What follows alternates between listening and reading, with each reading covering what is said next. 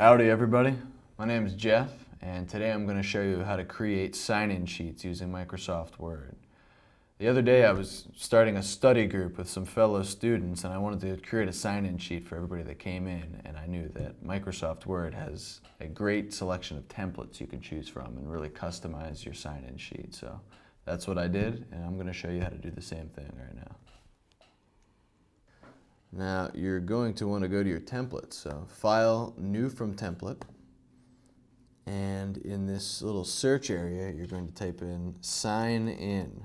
And see a bunch of templates come up. But right here, we have two. We have a meeting sign-in sheet, and we have a student detention sign-in sheet.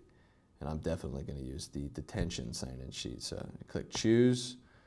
It is downloading. It does not take very long, and voila we have a detention sign-in sheet. And if that, you know, if, if you're not looking for a detention sign-in sheet, you can then change it. You can change every little bit to uh, tailor what you want. But you have name, you know, the grade, the time in and time out.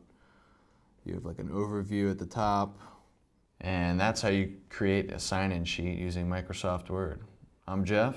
Thank you for watching and good luck. Thank you.